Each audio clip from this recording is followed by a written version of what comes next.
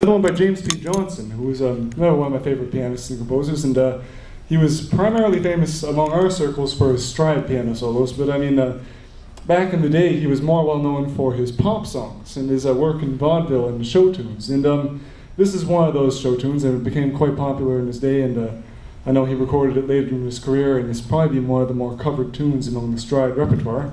This tune is called Old Fashioned Love.